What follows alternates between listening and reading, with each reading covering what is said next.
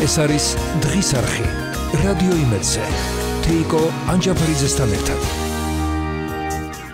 მოგესალმებით კიდევ ერთხელ ბრუნდებით პირდაპირ ეთერში და წარმოგიდგენთ ჩვენ სტუმარს ლიკა ბუხნიკაშვილს მხატვარს და დღეს ჩვენ ვისაუბრეთ იმ ფერადი სამყაროს შესახებ, რომელიც თქვენ ნახატებში ასე კარგად ჩანს და ასევე იმ გამოფენის შესახებაც, რომელიც აბრეშუმის გალერეაში გამართა.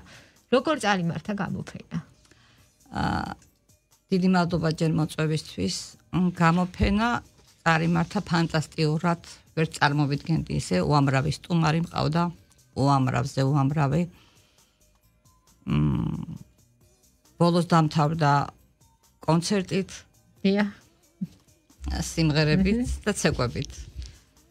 მართლა არ ველოდი ამდენ ხალხს როგორ როგორ გადა როგორ გაჩნდა ეს იდეა რომ გამოფენა? იმიტომ ძალიან ბევრი ნახატები დამიგროვდა უამრავი.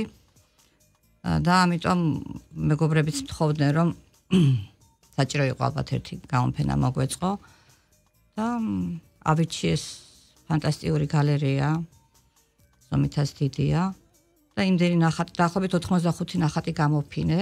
ფაქტურად გავაფსე მთელი დარბაზი კი 85 ნახატი, ხო? რაოდენობა საკმაოდ შთამბეჭდავი არის. შემეძლო მეტი მიმეტანა კიდე, მაგრამ რაღაც თავი შევიკავე. თუ იყო ჯერ ისე გამოფენას დაუბრუნდეთ და შემდეგ 85 ნახატის ისტორიას, 85 და კიდევ უფრო მეტი ნახატის ისტორიაც მოგვყევით. თუ იყო თქვათ აი რა სახელწოდება გამოფენის, რაღაცა კონკრეტულად ექსპოზიცია თემატიკის მიხედვით იმ და არანაირი თემატიკა, ყოველას თითქმის საბავშვო თემატიკის ნახატებია. რომელსაც დიდებით სიამოვნებით ათვარიელებენ და თემატიკა არაფერი. ისე ამ ისტორიას ალბათ დავარქვევდით ზოგი ჭირი მარგებელია, რომ დამერქმია გალერეის გამოფენისთვის არ იქნებოდა ურიგო.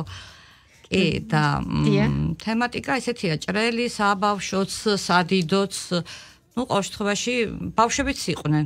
ბევრი ბავშვი იყო სტუმრად მოსული, მაგრამ ну ისეთია ყველა ადამიანში ბავშვი რაღაცა დოზით რჩება. ჩვენგანში ცხოვრობს ბავშვი და კი ბატონო და აი ეს ბავშვობა გაუცოცხლე ალბათ ყველას. და როგორც აპლოდისმენტები უამრავი ამ ტაში მესმოდა. ტაში გესმოდა და რაც მთავარია შექმენით ის მართლაც გალემო ის ატმოსფერო რომელიც ასე ფერები ემოციები დატვირთული დაუბრუნდი სახლში იმიტომ რომ უამრავი კომპლიმენტი მივიღე ან კომპლიმენტი შეიძლება რეალურადაც მასე ფიქრობდნენ ეჭვიც არ მეპარება და ნუ აი დიდი ემოციებით მოვედით და მეც მირეკავდნენ ალბათ ძალიან ბევრი რომლებიც ძალიან ყვაყოფილები არ ვიცი მე მგონი რომ ძალიან შედგა ეს გამოფენა მე ასე ვფიქრობ. თქვენ ჩვენს მენელებს რომ მივაწოდოთ ინფორმაცია თქვენ ბძანდებით თვითნასწავლი მხატვარი თქვენ არ გაქვთ აბსოლუტურად თვითნასწავლი არაფერს არ დავსწრები ვარ არც ონლაინ გაკვეთილებით არსად არ მისწავლია.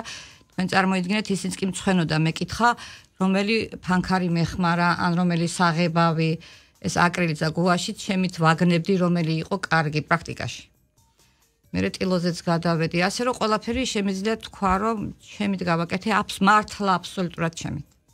იმ შუქშილებას თუ სწორედ ვიყენებ, არ ვიცი, ჩემით მივაგენი რაღაცებს, მოკლედ პრაქტიკაში ეს ყველაფერი თავში. თუ გაქვთ თქვა აი გამოხმაურება პროფესიონალებისაგან, კრიტიკო, რა საერთოდ არ მინდა რომ რაღაც ტრაბახს შემეცვალოს. კი, ბევრი იყო ხატვარი, ჩემი მეგობრებიც ისეც და ჩემი მეგობარი ერთი არ მინდა სახელი და გვარი თქვა, აკადემია დაამთავრა. ასე მითხრათ, ჩემი დიპლომი და გაჩუქო, მე არაფერში ამჭირდება. არ ვიცი, არ ვიცი, მე მგონი რომ მოწონთ, არ ვიცი. და ჩვენს მენელებს მინდა კიდევ ერთხელ განმარტო, რადგანაც თუ ახსენე 85 და კიდევ მეტი ნახატი. კი, 1000-მდე მაქვს. 1000-მდე? ეხლა აღარ მაქვს, იმიტომ რომ ზოგი გავაჩუქი, ძალიან ბევრი მაქვს გაჩუქებული. ბევრი გაყიდული მაქვს. ну რაღაცა ნაწილი სახში დავტოვე, ვიფიქრე რომ არ იყოს საჭირო გამოფენაზე წაღება. ზოგი ჩარჩოს ჩასმელია და ნუ 1000-მდე მექნება ალბათ ახატული კი. 1000-მდე ნახატი ბოლო 2 წლის განმავლობაში და უთხრათ კიდე ვინც არის ის თქვენი ისტორია რა თქვენ 2 წლის წინ დაიწყეთ ხო პანდემიას დავასწარი ერთი თვით კი. და აი აი ამ დღიდან ნუ აი ხა ბოლო 3 კვირა არ მიხატია. განჩი ფაქტურად დღე არ ჩამიგდია რომ დამეხატე და როგორც თქვენ სანამ შემოვიდოდით გადაცემაში აღნიშნეთ, რაღაცა თავისი ჩდება, ხო? ხანდახან წინასწარ გაქვთ ხოლმე სიუჟეტი, ხანდახან ეს ხატვის დროს მოდის ეს. ზოგჯერ ვიცი წინასწარ რა უნდა დავხატო, ძირითადად არ ვიცი, როცა უკვე წინ ვიდებ ანტილოს ან მუყაოს, ძირითადად ხატავ მუყაოზე. გუაში და ტილოზე ხედა ხატავ აკრილით. აი როცა ვდებ წინ მე ვიწყებ უკვე არ ვიცი ხელი თვითონ იწყებს ხატვას. აი მართლა არ ვიცი. მე თვითონ და პირველი ნახატი როგორ რა იყო? პირველი ნახატი იყო პატარა ანგელოზი. და მაშინ ვავწირთე Facebook-ში. მე ვფიქრობ რომ ეს 20 წლის წინ რო დამეწყო ხატვა დიახ ამ გარკვეული მიზეზის გამო რის გამოთაც დავიწყე ხატვა ვისაუბრეთ.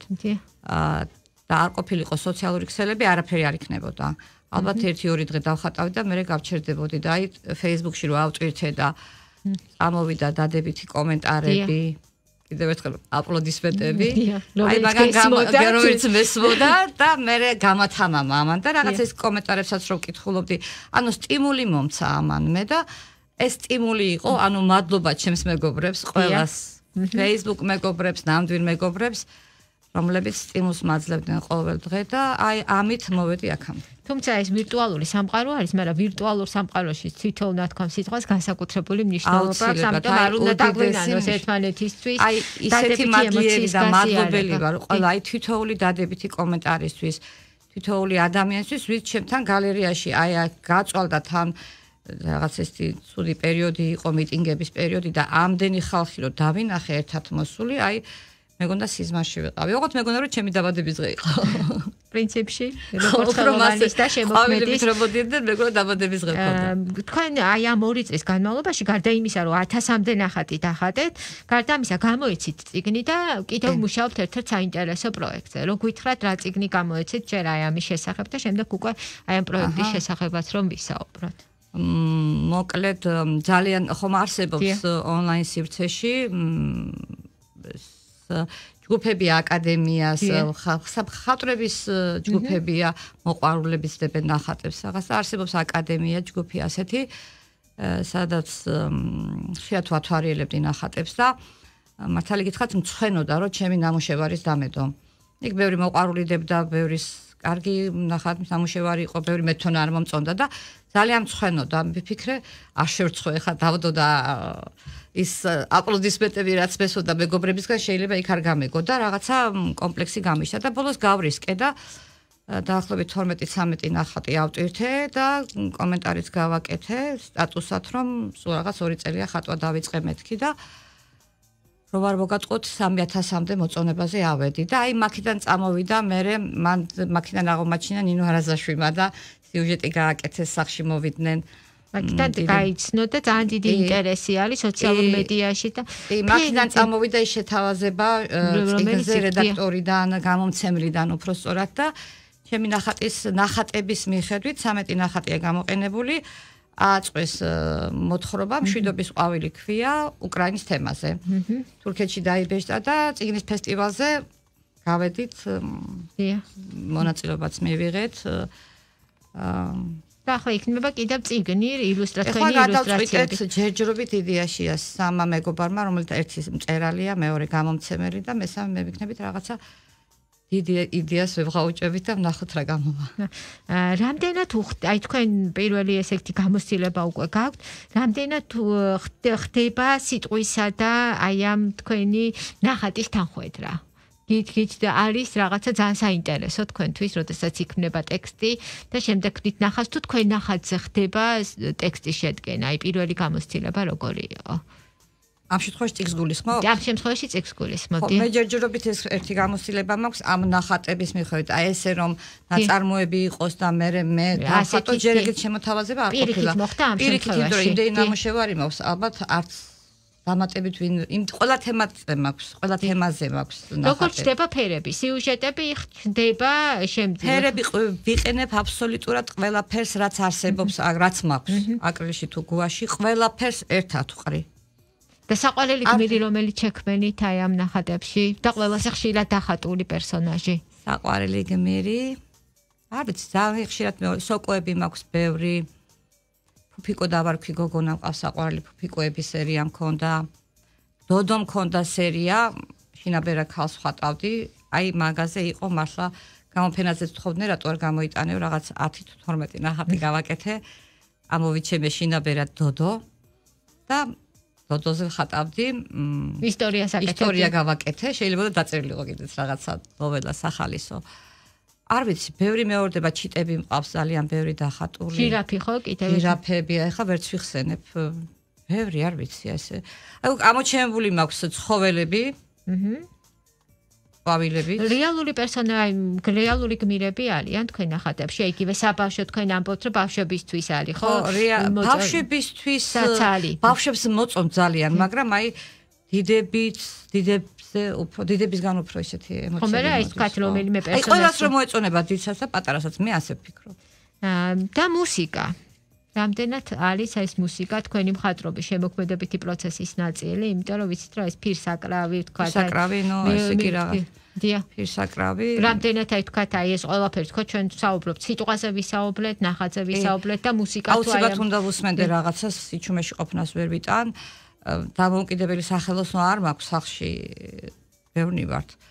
და რამდენადაც შესაძლებელია ვუსმენ ხოლმე უამრავი ფირფიტა ჩავამივიდა რეტრო ფირფიტები საფრანგეთთან მეგობარმა გამომიგზავნა და მუსიკასთან ერთად ხატავ. ცდილობ რომ სიჩუმეში არ ვიყო ზოგადად და მუსიკა კი ერთ-ერთი შემადგენელი ნაწილი კი არა ჩემი ცხოვრების დიდი ჩემი ცხოვრება ყველა ნახას თავისი მელოდია აქვს კი არა ნუ გააჩნია რა ხო. მაგრამ მუსიკა არ გადაწყვეტს ნახატის შინაარს. არა უბრალოდ უნდა უსმენდე რაღაცას. შეიძლება განწყობა წყვეტს მუსიკას არ შეიძლება კი და სამომავლო გეგმები უკვე არა ლიტერატურასა და მხატვრობასთან მიმართებაში, არამედ მხატვრობასთან მიმართებაში, თუ გეგმავთ შემდეგ გამოფენას ან ახალ სერიას, ან ისეთი დიდი ემოციები მივიღე. კი, ალბათ შემოდგომაზე გავიმეორებ აუცილებლად და აა რაღაცა ახალი მინდა რა თქმა უნდა. თემატურად იგივე იქნება ეს ჩემი სტილია და ამას ვერ შევცვლი ვერაფრით. იქნება ეს ჭრელაჭრულა აა ფორმები და ალბათ უფრო მე საერთოდ მეუბნებია რომ ტილოზე ძალიან კარგი გამოგივიდაო. ტილოზე ახლა ხას დავიწყე. ხატვა ორი თვია მაგრამ მე მიყვარს გუაში ჩერეული ტექნიკით მუყაოზე ხატვა და მე პასპორტოში ჩასმა და ალბათ ნუ მოკლედ ორივე იმაზე ვიმუშავებ ორივე მასალაზე. მაგრამ ალბათ უფრო დავხოცავ არ ვიცი საწავალ არის თქვენი ნახატებით რასაც მოსეუბნებით სამყაროს კონკრეტული სიუჟეტის მიღმა ხო კიდევ არის აი არ ვიცი ალბათ შემგან მოდის ძალიან ცუდად როცა ძალიან ცუდად ვარ დაუშვათ ხო? უფრო ფერადი ნახატები გამომდის.